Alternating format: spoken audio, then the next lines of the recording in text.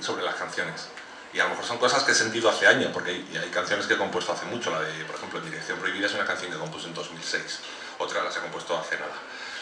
Y de, cómo hacer que vuelvas, vosotros sabéis de qué va la canción, de cortarse la pena, básicamente. es, una, es una canción que, que habla de una persona eh, que le hace la vida imposible a su pareja, porque tiene un miedo brutal al compromiso, o también porque de repente pues, eh, le, da el bajón emocional y huye, y cuando está sin su pareja tiene un miedo brutal al abandono y un miedo brutal a la soledad y un miedo brutal a que se olviden de él y entonces regresa. Entonces es un poco pues la pescadilla que se muere de la cola, ni contigo ni sin ti de toda la vida, vamos. Pero normalmente si os fijáis, si vosotros os ponéis hoy, ahora mismo segundo vais a ir aquí la radio, aunque no lo vais a hacer porque vais a poner mi disco, porque eso lo habéis venido a.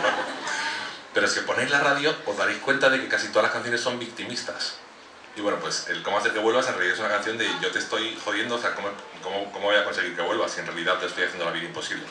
Pero fijaros, poneros la radio y ya veréis cómo todas las canciones son porque yo te he dado y tú me has quitado, yo, yo, yo, mi, mi, mi, ¿sabes? No hay, la gente generalmente no reconoce que, que a veces hacemos daño, porque lo hacemos. Y entonces, para cómo hacer que vuelvas, hice un poema desde el punto de vista de él, parecido a la canción, contando un poco eso, pero detallando en más cosas. Otro poema desde el punto de vista de, de qué siente ella y cómo lo afronta y cómo lo supera. Y también este poema que se llama Quieres salvar eh, el amor de tu vida, que es eh, qué le diría una persona a este chico aconsejándolo. ¿no? Porque, porque tú, tú, de verdad quieres recuperarlo, pues vas a tener que cambiar un poco y vas a tener que hacer determinadas cosas, ¿no? como, como continúes con esa actitud eh, porque en esas situaciones en las que abandonamos constantemente a otra persona y cuando estamos sin ella le prometemos esto y esto y esto y esto y, de verdad que va a ser así, va a ser así, y en cuanto regresa a los pocos días nos desinflamos, eh, creo que como mínimo hay que, hay que ofrecer una disculpa eh, muy, muy, muy sincera. Pero claro, en esas situaciones que sepáis que no es una canción que habla de mí, no habla de mí, es la única del disco que no habla de mí.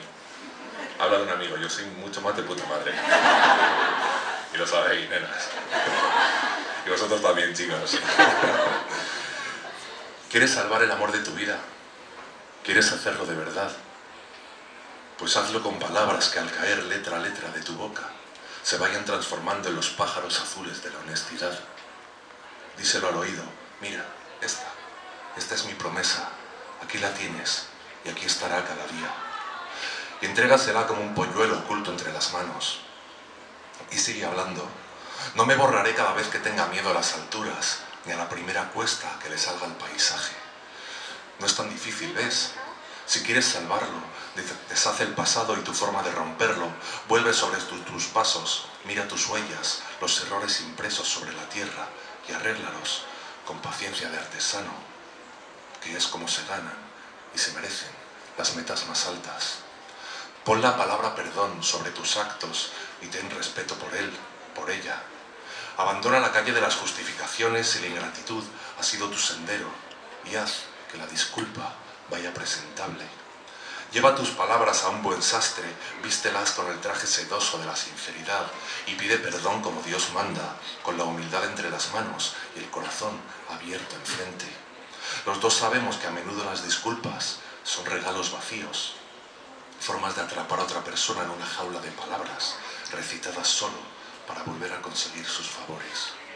Quien quiere a alguien se moja, se empapa en el líquido viscoso de la duda y se lanza a pecho abierto a la piscina. Quien no se quiere marchar nunca dice adiós, siempre encuentra la manera de quedarse o de pedirle que lo esperen. Así que ya sabes, si de verdad quieres salvar el amor de tu vida, haz lo que haga falta y hazlo a tiempo. Ya hay demasiados amantes estrellados por haber llegado tarde dentro de los libros de poemas.